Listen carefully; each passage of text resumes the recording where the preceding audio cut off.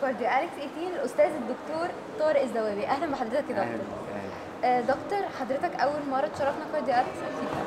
أكيد لا أنا أنا آه، نائب رئيس بن آه، بننظم CardioAlex بقالنا حوالي 17 سنة. ده ال CardioAlex آه، العام 17 من 2002 والحمد لله ال CardioAlex أصبح دلوقتي أكبر مؤتمر قلب في الشرق الأوسط. ويمكن آه، المشتركين في هذا المؤتمر هذا العام آه، تعدوا آه، 7000 طبيب آه، على مستوى جمهورية مصر العربية على مستوى الدول العربية على مستوى الدول الإفريقية يمكن السنة دي نتميز بمشاركة أكبر من الأفارقة آه، وعندنا مشتركين من آه، أوروبا وأمريكا. وعدد ال- الأجانب المشاركين في المؤتمر تعدى ال 80 أستاذ.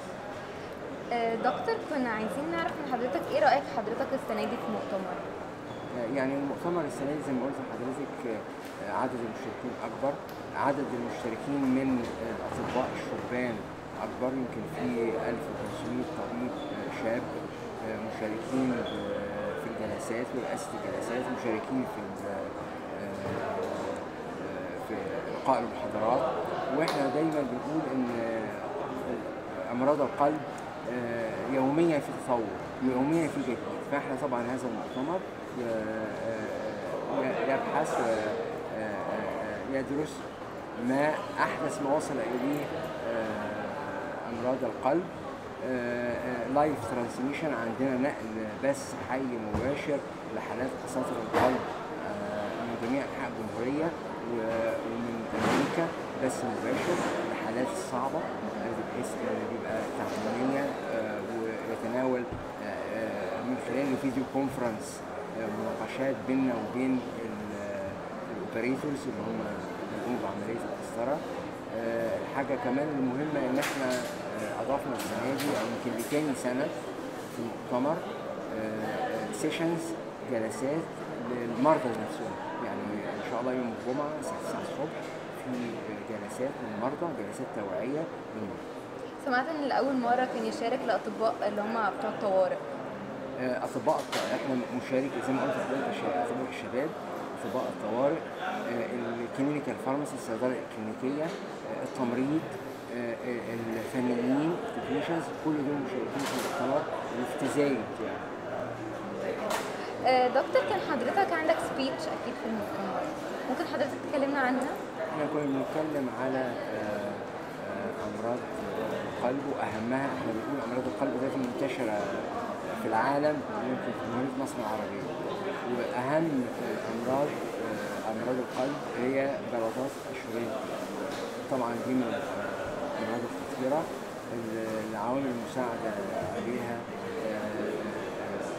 ارتفاع ضغط الدم ارتفاع كوليسترول الدم السكر التدخين التدخين إحدى العوامل الخطيره آه، اللي بتؤدي إلى في القلب بنشوف دلوقتي شباب في سن ال 20 و 30 سنة بيبقوا مصابين بجلطه في القلب. وده بسبب التدخين التدخين ده يعني حتى ما بعد ما بنعمل قسطره ونشوف منظر الشرايين مفيش تصلب شرايين ولكن نلاقي الشريان كويس وجلطة قافلة الشريان. فده استعداد للجلطه فيهمنا جدا إن إحنا آه، آه، يعني نقي الشباب نقي آه، آه، المرضى من آه، حدوث جلطات القلب عن طريق السيطرة على المضاعفات دي تظبيط الضغط تظبيط الكوليسترول علاج السكر الإقلاع عن التدخين دي حاجات مهمة. الحاجة التانية المهمة وهي حدوث الأعراض. يعني يجب أن حدوث الأعراض أهمها آلام حتى الصدر قد يكون أسبابها كثيرة ولكن اللي يحدد كده هو الطبيب المعالج فلو مريض معروف إن هو بياخد علاج حصول الشريان التاجي وجاله آه، الام حبل الصدر يجب أن يتجه إلى الطوارئ المستشفى بحيث إن الطبيب هيقيم حالته ساعتها ويقرر هل ده محتاج علاج ولا لأ هل دي حالة جلطة ولا مش حالة جلطة عشان آه، ياخد العلاج المناسب في الوقت المناسب بحيث إن يحمي عضله القلب آه، دكتور كنا عايزين نعرف من حضرتك ما هي عوامل الخطوره بالنسبة لجلطات القلب والتشخيص؟ آه، زي ما قلت عوامل الخطورة هي آه، آه، آه، ارتفاع ضغط الدم. وارتفاع الضغط الدم ده يعتبر آه، بيسموه القاتل الصامت سايلنت كيلر بنسبة كبيرة جدا من مرضى الضغط معرضين إن يجيلهم آه، جلطات. آه، التدخين أهم العوامل. آه، ارتفاع نسبة الكوليسترول في الدم آه، السكر السمنة السمنة المفرطة لازم آه، الرياضة لازم الرياضة ونقص الوزن والحفاظ على الوزن.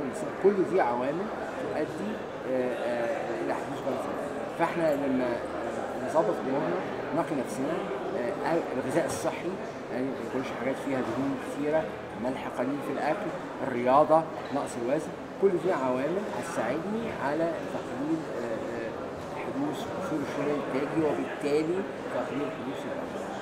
ميرسي جدا يا دكتور كنا سعداء جدا بوجود حضرتك معانا السنة دي في CardioAlex